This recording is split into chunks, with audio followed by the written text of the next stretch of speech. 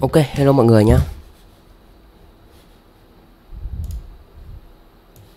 Rồi trong cái buổi chiều ngày hôm nay, buổi trưa ngày hôm nay thì uh,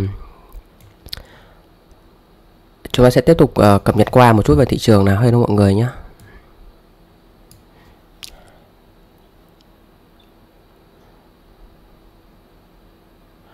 Uh, ờ,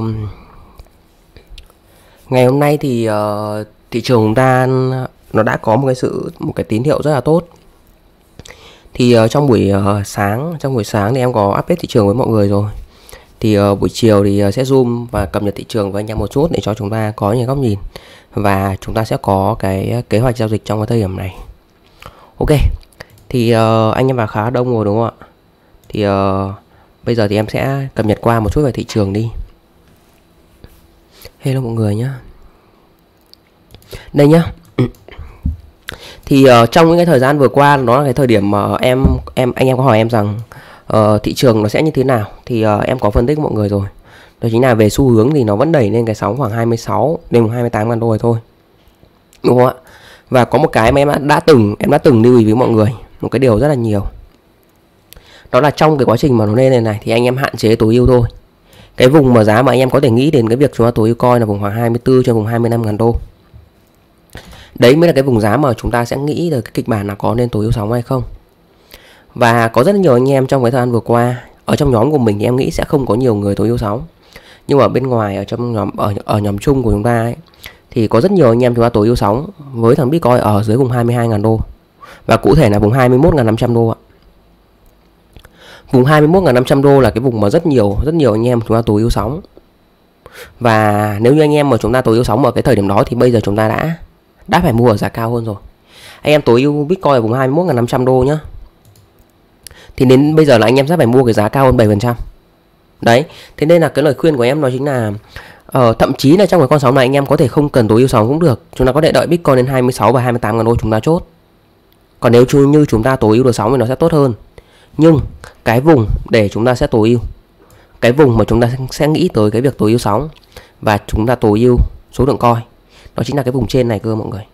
Rất nhiều anh em chúng ta giao dịch và chúng ta tối ưu cái cái những cái đồng an coi ở cái vùng giá dưới này nó rất là dở.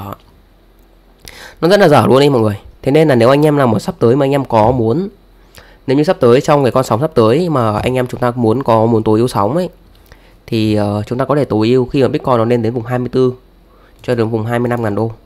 Thì dự kiến của em là cái vùng 24 và 25 ngàn đô đây sẽ là cái vùng nó sẽ xảy ra vào thằng giá. Đúng không ạ? Đây sẽ là cái vùng mà em sẽ dự kiến mọi người là cái vùng mà 24 24 đây cơ đúng không? Đây cái vùng giá mà em dự kiến mọi người nó sẽ xảy ra phần giá là vùng giá này. Thì uh, chúng ta sẽ phải chờ trong cái đoạn này chúng ta sẽ phải chờ. Còn uh, nếu như anh em nào mà chúng ta muốn muốn chốt lời bitcoin ở trong cái thời điểm này uh, anh em có hỏi em rằng cái vùng giá này có thể chốt lời được hay chưa thì câu trả lời là vùng giá này anh em có thể chốt được nếu như mọi người muốn. Tại vì với cái giá mà anh em mà mua thì bây giờ chúng ta cũng đã lời rất là nhiều rồi. Thì nếu như mọi người muốn chốt thì có thể chốt nhưng mà với cá nhân của em thì uh, em vẫn giữ trong cái con sóng này nhá. Hiện tại thì uh, em em bản thân của em sẽ vẫn em vẫn giữ bitcoin được không ạ? Em vẫn giữ bitcoin trong cái sóng này và có thể là em sẽ đánh lên cái vùng rất là cao là vùng 28 ngàn đô ở trên này. Đó. Thì ở trong nhóm của mình thì uh, nếu như anh chị mà chúng ta muốn tối ưu thì uh, có thể đợi đợi giúp em thêm khoảng một vài ngày nữa. Khi mà nó giao dịch ổn định trên cái vùng giá này thì chúng ta mới tính toán tối ưu. Còn nếu như trong trường hợp mà nó nó nó có điều chỉnh sóng nhẹ nhẹ đây luôn thì thì cũng không có vấn đề cả tại vì sắp tới thì em em nghiêng về thị trường nó sẽ xảy ra một cái phiên đó chính là cái phiên sideways. Người ta gọi là một cái phiên điều chỉnh ngang. Sideways sau đó nó điều chỉnh ngang nó tiếp tục nó đẩy lên này, này. thì uh, đây là một cái kịch bản hoặc là nó có thể nó điều chỉnh sâu một chút sau nó mới đẩy lên cơ. Đấy thì nó hoàn toàn có thể chạy xảy ra một trong hai cái kịch bản này. Thì ở trong nhóm ờ, kín của mình trong nhóm riêng của mình thì khi nào một tối ưu được em sẽ báo mọi người. Và anh em cũng sẽ không cần phải vội vã à, không cần phải vội vã chat ở trên nhóm mà anh em hỏi em rằng à, Hiếu ơi anh Hiếu ơi chúng ta tối ưu coi được cái chưa thì chưa đâu mọi người. À, anh em yên tâm chúng ta cứ phải từ từ các bạn à, sóng này thì chúng ta cứ bình tĩnh chúng ta tối ưu nhá chứ anh em mà bán ra xong chúng ta không mua lại được đâu. Nhiều anh em đợt trước mà anh em cứ bán ra vùng 21 22 ngàn đô bây giờ phải mua giá cao hơn rồi mà đúng không? Mà bây giờ mua cao hơn ở cái mức giá 23 ngàn 500 đô nó mua rất là rủi ro. So với cái giá nhiều anh em mua bây giờ có khi nó phải tăng đến tận 15 đến 20 trăm rồi. Thế nên nó sẽ là cái rủi ro lớn hơn. Thế nên là mọi người cứ bình tĩnh thôi đấy còn nếu như anh em nào bên bên nhóm bên uh, bên ngoài thì anh em có thể giữ để người ta ghét 2628 cũng được. Còn trong nhóm của mình khi nào tối ưu được em sẽ báo nhá. Được không ạ? Nhá ok. Thì về xu hướng sẽ cập nhật nhanh với anh em một chút thôi đó chính là cái vùng 22.000 đô này, này.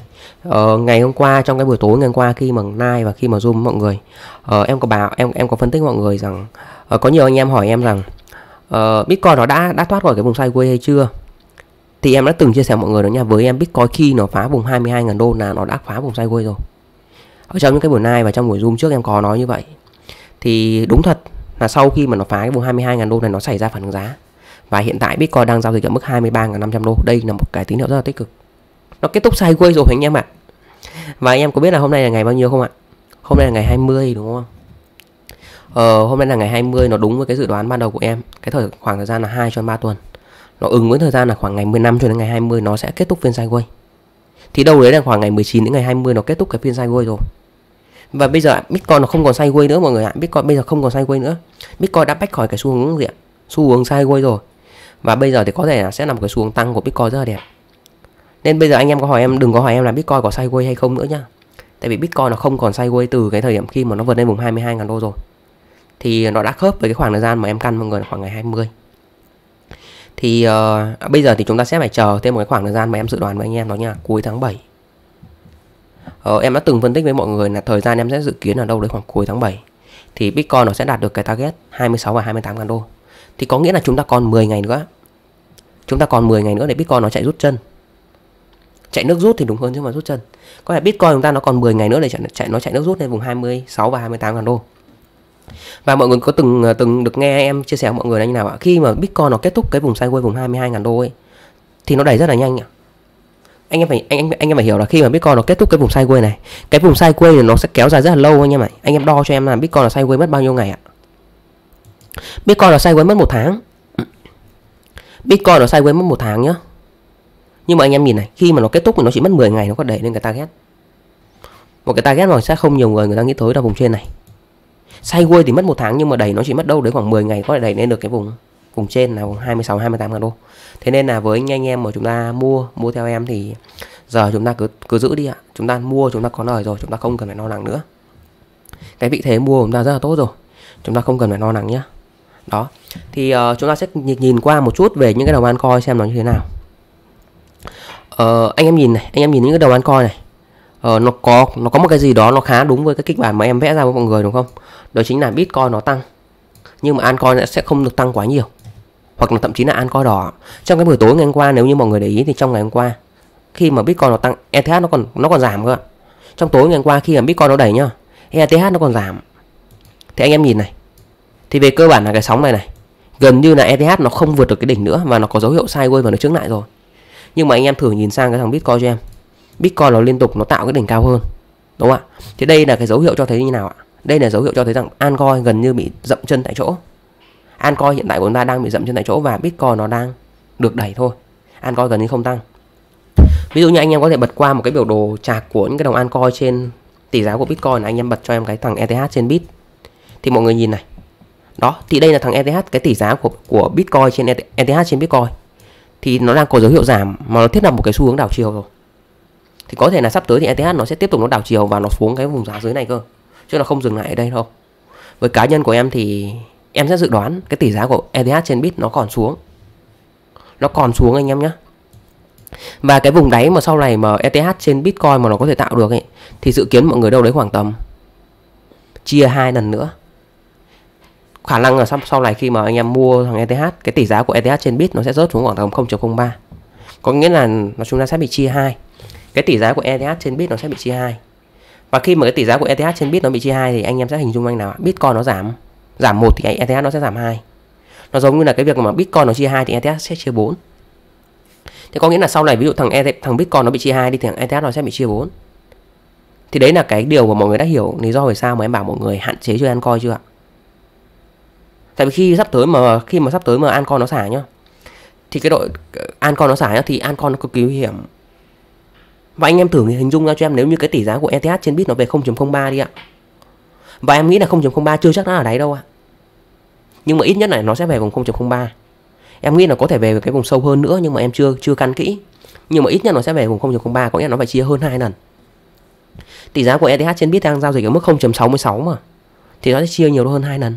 đấy đấy là cái câu chuyện hình dung ra lý do vì sao mà em khuyên mọi người là hạn chế đánh ăn coi đúng không ạ tại vì uh, khi mà nó chạy xong hết những cái sóng rồi thì mọi người sẽ hiểu những cái gì, lý do vì sao em chia sẻ.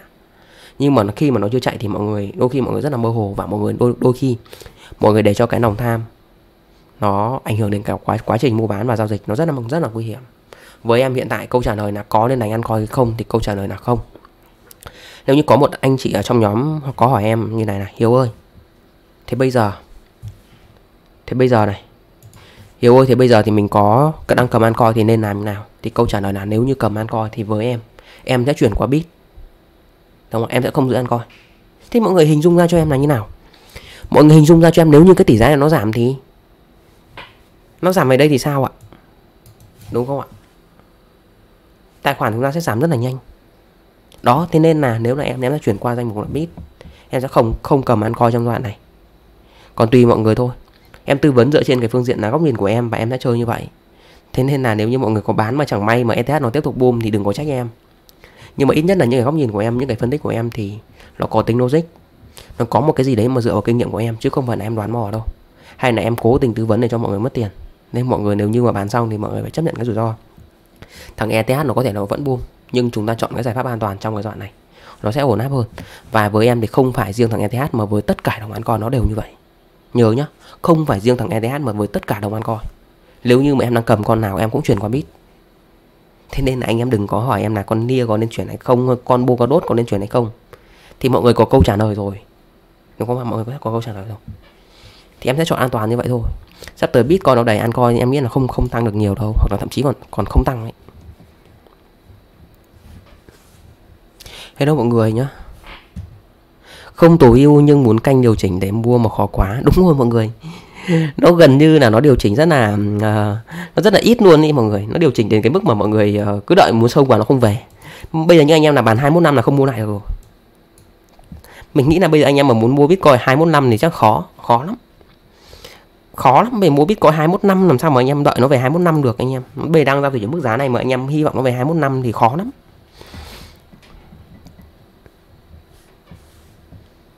Trường hợp chưa mua BTC thì giá này có vào được hay không hiểu á? Giá này thì theo em là nó hơi cao đấy Nếu mà anh vào thì anh nên vào ít vốn thôi. Anh có thể vào khoảng tầm 30% vốn thôi, Chứ còn giá này nó cao quá rồi. Thì em nghĩ là có thể vào được khoảng tầm 20-30% vốn nếu mà chưa vào. Tiếc quá, mình vào có 50% vốn. Anh em vào 50% là được rồi, Không cần vào nhiều hơn đâu. 50% cũng là tốt rồi mà. Trong cái sóng này mà anh em vào 50% hoặc là 60% thì rất là tốt. Không cần phải quá vào. Nếu anh em không vào hết cũng không sao. Tại vì nó chưa phải cái sóng uptrend Và anh em chưa phải mất cơ hội. Anh em phải hình dung ra là cái sóng này nó chưa phải là cái sóng mà cái cơ hội lớn nhất ở trong một cái chu kỳ chu kỳ sắp tới. Thế nên là nếu anh em đánh cái 50 hay là một 60 phần trăm vốn là cái điều không sao cả. Anh em không phải tiếc nhá không cần tiếc đâu.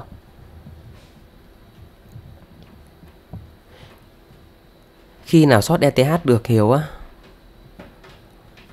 Ờ, khi nào Bitcoin nó tạo đỉnh xong thì chúng ta mới tính sót ETH còn bây giờ em nghĩ là chưa nên sót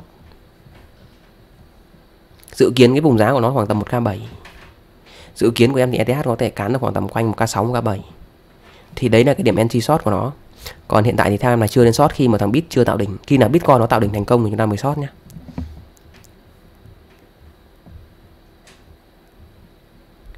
bit lên mạnh thế thì liệu có điều chỉnh luôn hay không bay vậy hiếu á? Thực ra bit nó đâu có lên mạnh đâu mọi người. Bit nó lên từ từ mọi người. Nó không lên gấp nhá, anh em nhìn này, cái quá trình lên của nó nhá quá trình lên của biết nó nó nó lên nó lên, nó nó tạo những cái nhịp rồi mà. Nó lên một cách từ từ và vững chắc chứ không phải lên mạnh đâu mọi người. Đây là một cái phiên tăng giá vững chắc, bền vững và vững chắc chứ không phải là tăng giá sốc đâu. Nó đâu có tăng sốc đâu. Thế nên là cái việc nó có điều chỉnh thì em nghĩ là nó cũng sẽ chỉ điều chỉnh nhỏ thôi, nó không điều chỉnh quá nhiều đâu. Thế này anh em nhìn này. Anh em anh em nhìn cái phiên tăng giá của nó là cái phiên đang tăng giá rất là bền vững mà nó đâu có tăng sốc đâu. Nó tăng sốc rồi nó phải tăng một mạch lên mà nó những cái cây nến xanh cơ. Nhưng mà đây là trong cái quá trình tăng này nó xảy ra những con sóng điều chỉnh liên tục rồi. Thì đây không phải là cái quá trình tăng sốc mà tăng mạnh. Đây là một cái quá trình tăng bền vững.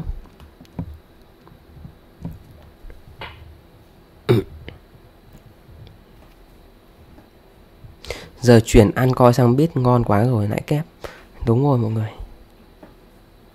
Em mới vào 50% đợi điều chỉnh thì ôn đi được hay không anh nhé theo anh thì thôi, tại vì ờ, em mua ở cái vùng giá thấp rồi. Bây giờ mà ờ, em mua thì cái trung bình giá của em là sẽ cao anh thấy hình như anh thấy em hỏi mấy lần rồi đấy, nhưng mà em không vào, đúng không? Đợt trước em có hỏi anh là vùng 20k5 rồi 21k5 rồi, em chưa vào thì thôi, theo nhà tôi. 50% là được rồi. Bây giờ em vào 20 23k5 ờ, thì cái trung bình giá của em rất là cao. Thì anh nghĩ là 50% nó là một cái tỷ trọng nó ổn mà cũng không cần vào hết đâu, mọi người. Khi nào thị trường nó chạm đáy và khi nào thị trường mà nó nó nó là cái cơ hội cuối cùng thôi thì anh em mới phải phải tiếc. Chứ còn đây nó chưa phải là cái cơ hội cuối cùng đâu anh em, nên không cần phải tiếc đâu ạ. Đã vào 100% từ 20 ngàn giờ đợi tín hiệu cho cho tín hiệu đúng không ạ? Ui, nếu mà mọi người vào 20 ngàn nó đẩy lên được tầm 28 ngàn đô thì kể ra cũng ngon nhỉ? 40% đấy mọi người.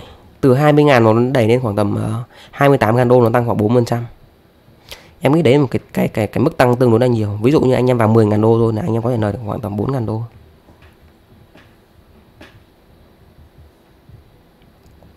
Sáng nay chỉ chốt 50% BDC ở 23k7 xong mua lại ở 23k3 có nghĩa là chị lời đâu đấy được khoảng tầm gần 2% mà run nắm giờ không làm thế nữa. Thực ra chị chốt 50% thì chị cũng chả sợ, tại vì chị vẫn còn còn biết mà. Nhưng mà theo em thật sự là nếu mà mọi người không không giỏi về kỹ thuật thì không cần tối ưu cũng được. Chốt đợi nó đến khoảng 26 28 mới chốt. Đấy là không giỏi về kỹ thuật. Đến như em, cái đợt này mà em tối ưu sóng này em cũng phải cân rất là kỹ không đâu, chẳng may mà tối ưu xong phát là cuối cùng là nó bay luôn, là cuối cùng là mình ờ, mình không mua lại được. Nhưng mà tính tính ra là nếu anh em bán vào tầm 24 25 đi, tính ra mà anh em bán ở 24 25 đi, thì anh em bán khoảng 50 phần trăm vốn đi. Thì kể cả mà nó nó nó nó nó lên luôn thì anh em vẫn ở đó đồ đấy khoảng 20 phần trăm. Đấy, còn anh em nào mà muốn chốt thì có thể chốt cho em khoảng tầm 20 24 ờ, năm đến 25 ngàn đô, anh em có thể ra cho em khoảng 50 phần trăm. 24 năm đến 25 thì anh em lời được khoảng 20 phần trăm rồi, anh em bán 50 phần trăm đi sau đấy thì nếu như mà nó điều chỉnh chúng ta mua vậy thì chúng ta tối ưu được số lượng coi còn nếu như mà nó bay một phát là nên bao nhiêu? Nó bay một phát mà nên uh, nên luôn thì mình chốt nốt gần 50 phần trăm. Quá đẹp rồi còn gì đúng không? Thế nên là cái vùng 24 24.5 đến 25 ngàn đô sẽ là cái vùng mà nếu anh em nào muốn order bán thì có thể order. Em không nghĩ rằng Bitcoin nó vượt qua được cái vùng 25 ngàn đô một cách nhanh chóng đâu. Cái vùng 24 năm đến vùng 25 ngàn đô em nghĩ là đấy là cái vùng cản cực kỳ mạnh của nó rồi. Nó khó qua lắm mọi người. Ít nhất nó phải điều chỉnh ngang nên em nghĩ là có thể ra được 50% nếu anh em nào muốn. Còn hiện tại thì em chưa chưa có tín hiệu. Khi nào em đợi đến cùng giá đó thì em sẽ căn cái lực của nó cơ. Còn đây là cái dự đoán với mọi người thì đâu đấy khoảng tầm 24 năm đến 20 năm thì để mà nó vượt qua ngày khó lắm. Tầm giá trên này này. Ít nhất nó phải điều chỉnh ngang, ít nhất nó cũng có phản ứng giá. Cái tầm trên này này em thật mọi người lên cao lắm ấy. Nó mà đẩy cho anh em lên tầm 24 năm đến 25 ngàn đô này này. Ít nhất nó phải điều chỉnh ngang nhưng mà hiện tại thì em chưa order bán và anh em nào muốn order thì em nghĩ là có thể order cho em 50% bán đi. 24 năm đến 25 ngàn đô là lời đâu là anh em lời được khoảng tầm 25% mà 20 25% rồi mà. Thì order 50% cũng được, nếu mà anh em nào muốn order. Đấy đấy, kiểu kiểu như vậy.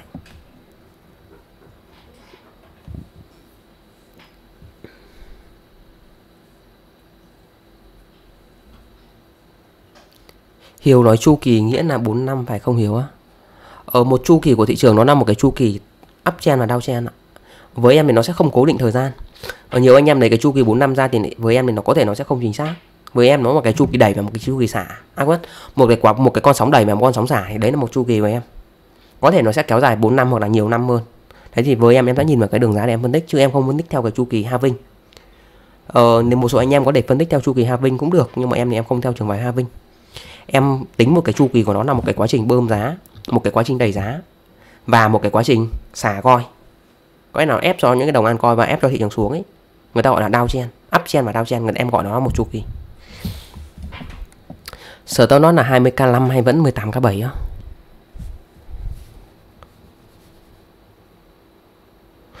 Hiện tại thì em chưa thay đổi cái điểm cài sớm nót đâu. Khi nào nó đảo chiều thì em sẽ cắt thôi. Nhưng mà anh em yên tâm nếu mà nó đảo chiều thì uh, em sẽ báo mọi người không phải sợ đâu còn anh em nào mà muốn nâng thì có thể nâng cầm 20k năm. Tại vì thằng bitcoin mà bây giờ nó phá 20k năm thì căng lắm. Em nói thật với anh em là bây giờ thằng bitcoin nó phá 20k năm thì căng cực kỳ luôn ấy thế nên là anh em nào mà muốn nâng sớm nó thì còn nâng 20k năm. Còn em em chưa nâng. Khi nào mà nâng em sẽ bảo với anh em ở trong nhóm nhé tôi thật mọi anh em mà bây giờ bitcoin nó phá 20k năm thì nó cũng là một cái tín hiệu xấu rồi. Nhưng mà em không nghĩ nó phá 20k năm đâu anh em. Tầm này nó phá 20k năm thì dở lắm. Mất bao nhiêu công sức thì nó giống như em đã từng chia sẻ với mọi người nhà cái và những người tập thị trường mà cá mập bị họ mất rất nhiều công sức để họ đẩy thị trường và họ ép cho người chơi không dám vào hàng. Ngay cả với những anh chị ở trong nhóm của mình nhiều anh em vẫn không dám vào mà, đúng không? Có cái công sức của họ làm ra rất là nhiều và họ rất là mất công sức rồi. Nó đến cả những cái việc mà em phân tích mọi người nên, nhưng mà những anh em ở trong nhóm chúng ta cũng sợ chúng ta không dám vào mà. Thế nên là nếu như mà bây giờ để một thị trường nó ép thị trường nó xuống ấy, thì em vẫn bảo mọi người là bản thân của em còn tiếc cho người ta ấy có là ngay cả bản thân của em là, là là không phải là em tiếc tại vì em bị mất lãi mà em tiếc cho người ta tại vì công sức để nó bỏ ra rất là nhiều rồi. Thế tự dưng bây giờ để ép thị trường nó xuống. Em tiếc là không phải là tiếc tại vì em không không không chốt được cái giá trên mà em tiếc là tại vì cái công sức của thị trường và công sức của người ta làm nhiều lắm ấy. tạo tâm lý rồi tạo ra rất nhiều tin tức để cho mọi người uh, không dám vào hàng mọi người bán ra. Tôi bây giờ để bỏ đi cái công sức như vậy thì rất là tiếc rất là phí. Em tiếc hộ người ta chứ không phải là em tiếc của em. Đấy.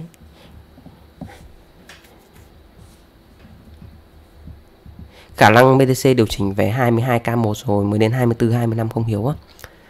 Ừ, em không nghĩ nó điều chỉnh sâu đến về mức 20k 21k1 được đâu, à 22k1 được đâu. Hoặc là nó điều chỉnh hay không thì em không chắc nhưng mà theo em là cứ giữ đi. Mọi người phân tích ở những cái con sóng nhỏ quá thì nó sẽ không chính xác. Tại vì trong cái giai đoạn này là nghe khung thời gian nhỏ nó rất dễ bị làm giá. Rất dễ bị làm giá luôn mọi người.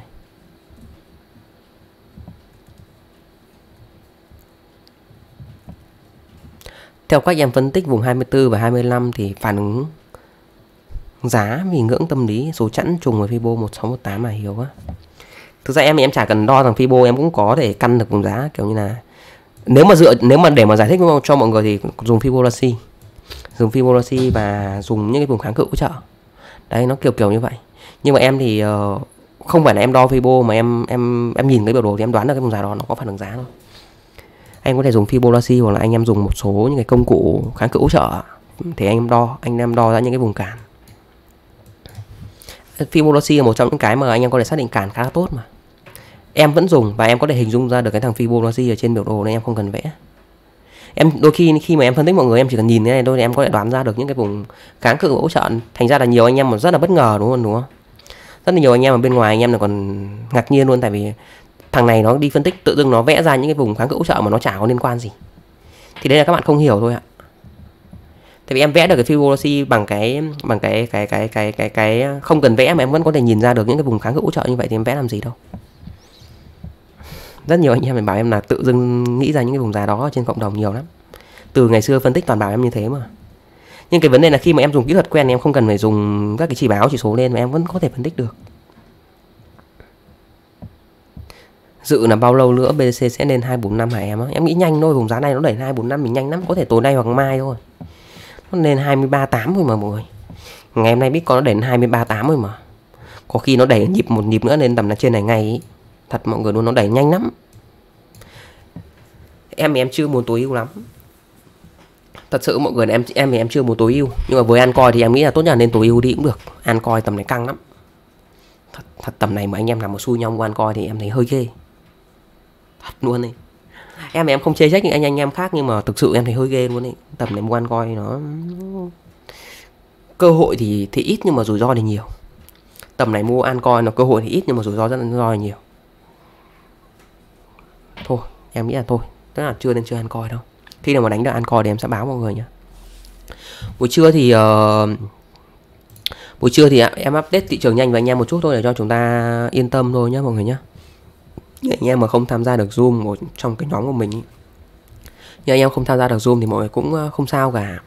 Tại vì ờ, ở trên cái ờ, channel trên trong cái nhóm, trong cái nhóm của mình thì em update thị trường thường xuyên và những cái thời điểm mà nó quan trọng nhất rồi. Nên nếu như mọi người bận không tham gia được zoom thì không sao đâu nhá. Thì zoom thì em sẽ phân tích chi tiết hơn một tí thôi. Đấy, thì như vậy anh em nhé buổi trưa thì nó sẽ phân tích nhanh thôi. Thì cũng như vậy thôi anh em nhé rồi ba mọi người hẹn gặp lại mọi người trong những cái ờ, buổi zoom tiếp theo nhé bye mọi người.